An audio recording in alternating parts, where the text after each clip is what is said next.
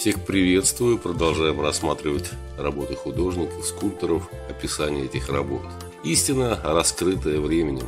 Мраморная скульптура итальянского художника Джан Лоренцо Бернини, одного из выдающихся скульпторов итальянского барокко. Выполнена между 1641 и 1652 годами Бернини намерился показать истину аллегорически в виде обнаженной молодой женщины, которая обнажает фигура времени над ней, но фигура времени так и не была исполнена. Обоснование Бернини для создания истины, раскрытой времени, было, по словам его сына Доминика, скульптурным ответом на нападки оппонентов, критикующих его неудачный проект по возведению двух башен на фасаде собора Святого Петра.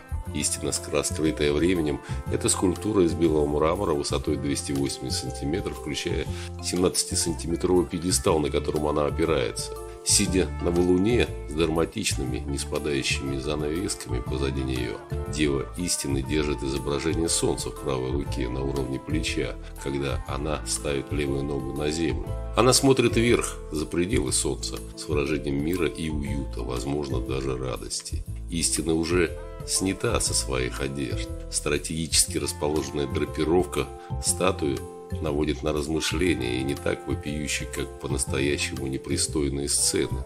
Видны ее обнаженная грудь и живот, в то время как пах частично прикрыт струящейся драпировкой. В ее существе есть ощущение движения, эмоции и энергии, а холодный мрамор кажется таким же гибким, как настоящая плоть. По словам биографа Бернини, Балдучини, его резец был нанесен таким образом, что можно было поверить, что он резал воск а не мрамор.